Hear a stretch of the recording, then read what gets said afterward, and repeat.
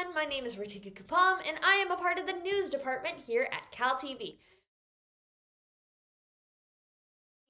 But today we're going to switch things up a bit. This video is for all you high school students out there who are falling down the endless rabbit hole of college advice and admissions reactions videos.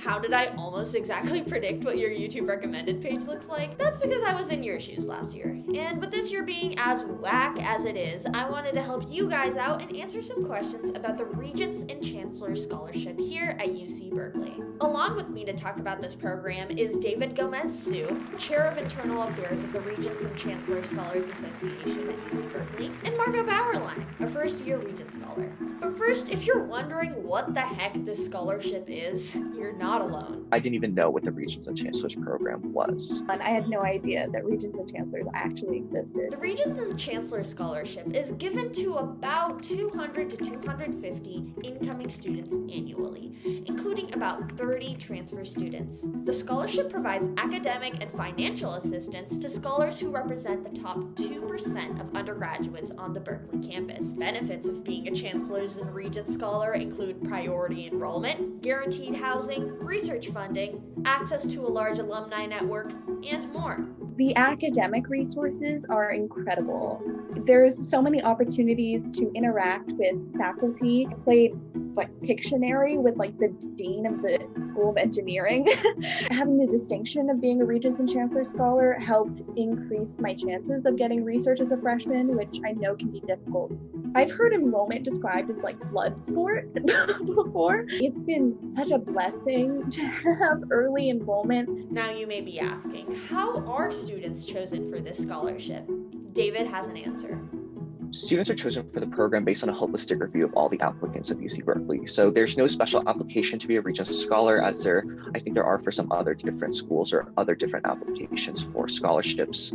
Um, but every every single applicant is screened to be a Regents and Chancellor Scholar by the Academic Senate Committee for the university. Growing up, I had been a part of the foster care system. I had gotten good grades in high school. I had a very interesting story about you know who I am and how I have been formed as a person. Like I didn't have a super high SAT score. I didn't have an SAT score in the 1500s or 1600. That was not me as a student. Regents and chancellors doesn't just look for an SAT score. They look for resilience, curiosity, and those factors aren't reflected in a grade. David actually spoke to me about how a lot of the specifics in selection for the scholarship are kept behind closed doors.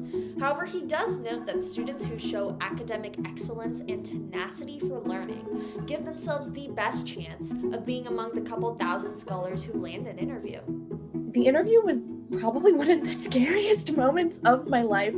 It was like in a hotel in Irvine. And so I had to drive like three hours to get there. And it was, you know, they really put up the, the works. You get a little breakfast, you get to talk to current regents and chancellor scholars based off of like your major or like what you think you're interested in because you don't have to know what you're interested in to be a regents and chancellor scholar but it solely wasn't just about like personal insight questions we talked about books that we were reading it was part you know informal conversation or just getting to know each other and also part like let's look at your personal insight questions and see who you are beyond those questions. When asked to give a little bit of advice to you guys, this is what our Regent Scholars had to say.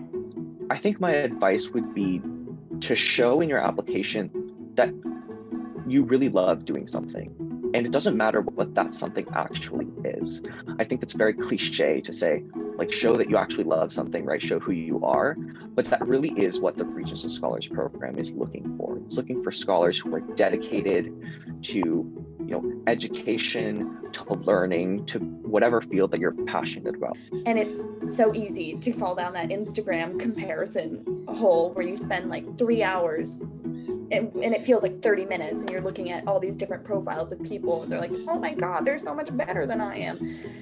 Just don't you know you're great. And when you that will be reflected in your application and the readers will see that That's it, you guys. I hope this video helped answer your questions and lower your stress levels during these crazy times. If you like this video, don't forget to give this video a like, follow Cal TV, and drop a comment if you have any other questions or video requests. For Cal TV, this has been Ritika Kuppam. See you next time.